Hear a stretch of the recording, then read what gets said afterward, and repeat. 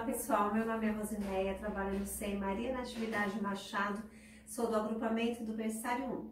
Estou mais uma vez aqui na minha casa para apresentar para vocês uma proposta bem legal. Hoje o nome dessa nossa brincadeira é Acertos e Memórias. Essa brincadeira eu fiz a partir de recursos bem simples que nós temos em casa. É, usei caixa de papelão e fiz é, algumas, alguns desenhos, né? Você recorta os desenhos cola na caixa e coloca uma, um centro, coloca a boca bem grande para a criança tá fazendo os acertos. É, você pode estar tá usando é, bola de tecido, é, brinquedos que vocês têm em casa, esse daqui já é um chocado que nós já fizemos anteriormente. Vocês podem estar tá usando garrafa plástica, é, objetos que possa estar tá encaixando nessas cavidades que nós fizemos. Aí eu usei é, os as imagens dos animais, né? Que as crianças adoram os animais.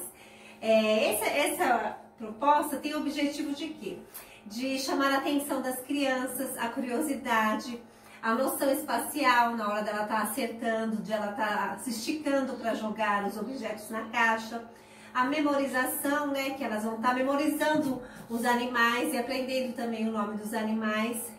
Então, e principalmente a interação da família, o brincar.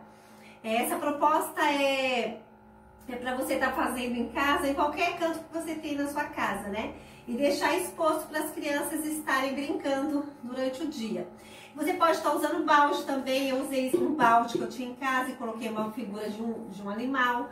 Aí você pode estar tá usando a sua imaginação. É, e assim você pode estar se divertindo bastante com a sua criança. Agora eu vou dar uma demonstração de como você pode estar brincando com a sua criança. Vamos lá?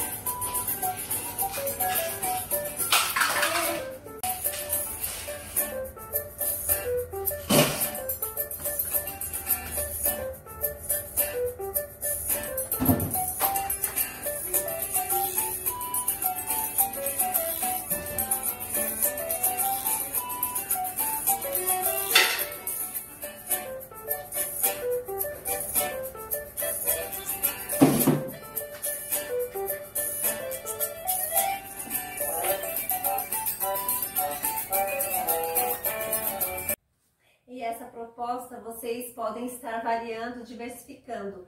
É, vocês podem estar colocando o grau de dificuldade, né? Como os nossos bebês já estão grandinhos agora, né? Estamos no final do ano, eles têm que ter grau de dificuldade para estar avançando na, nas etapas do desenvolvimento.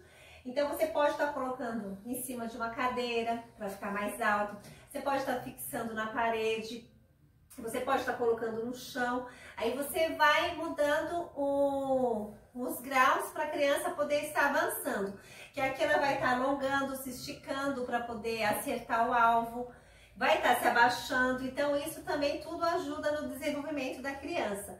Ela vai estar tá imaginando os bichos, porque você vai trocando o lugar dos bichos. Você coloca uma hora um bicho, depois você troca e pergunta para o bebê e para a criança, qual bicho é esse? E a criança vai estar tá memorizando. Então, isso tudo é para, é, além da brincadeira, é o desenvolvimento da criança.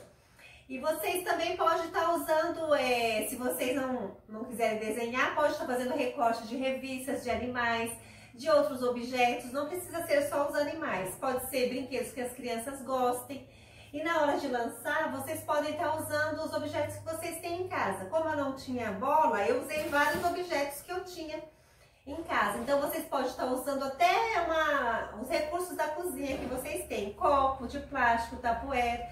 Então, você vai usar a sua imaginação nessa brincadeira.